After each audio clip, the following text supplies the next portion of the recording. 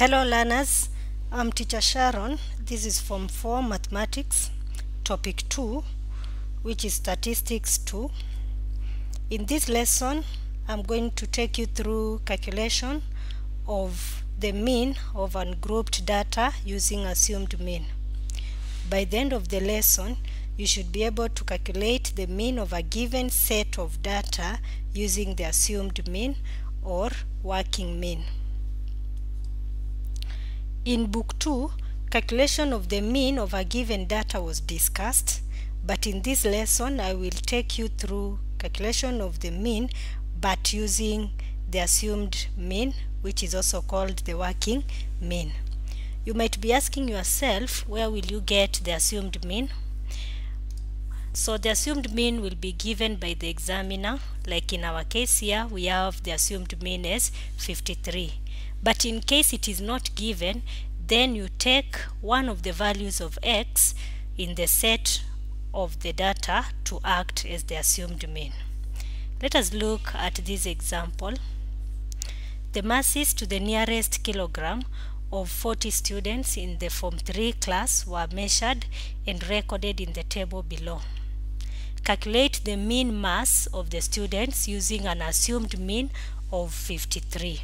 So our assumed mean is given as 53. This is how we proceed. We have to make a frequency distribution table. So I will make a table which is having four columns.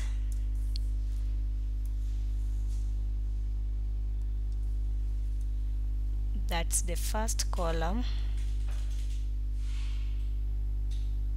The second column the third column and the fourth column.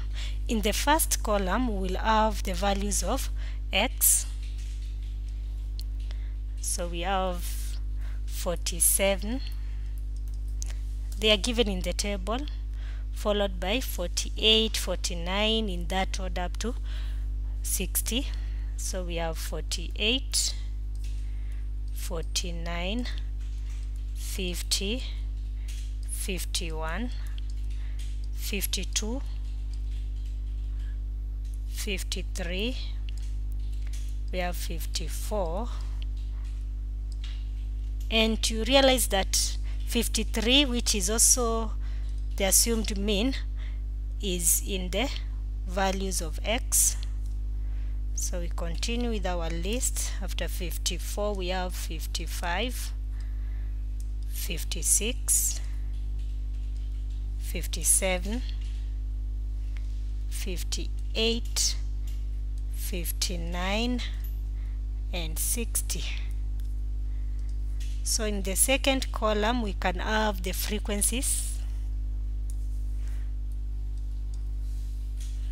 And in the table we have 2 0 1 so we have 2 0 1 let's check from the table again. We have 2 3 2 so 2 3 2 these are 2 then we can extend our column downwards. So for 53 the frequency is given as 5 then 54 we have 6 7 5 so 6 7 5 6 7 5 let's check for 57 from the table we have 3 2 then 1 1 so 3 this is a 3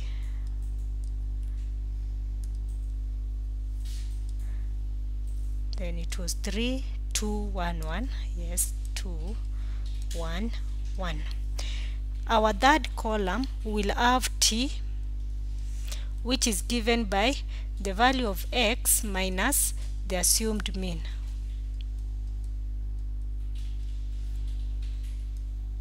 So the first one will be 47 minus 53 which is negative 6 48 minus 53 negative 5 49 minus 53 which gives us negative 4 we have 50 minus 53 which is negative 3 51 minus 53 which is negative 2 52 minus 53 negative 1 then we have 53 minus 53 which is 0 because 53 is the one which is acting as the assumed mean.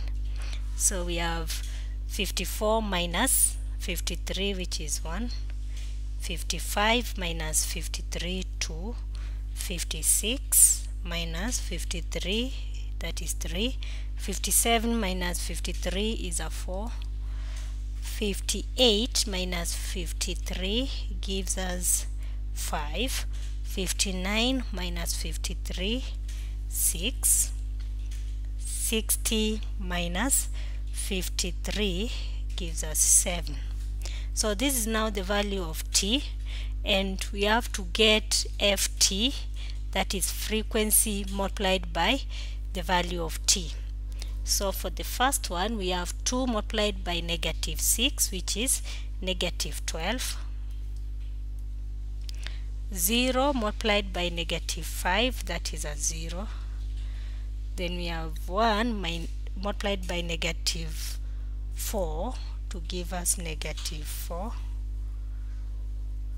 2 multiplied by negative 3 is negative 6 3 multiplied by negative 2 negative 6 again.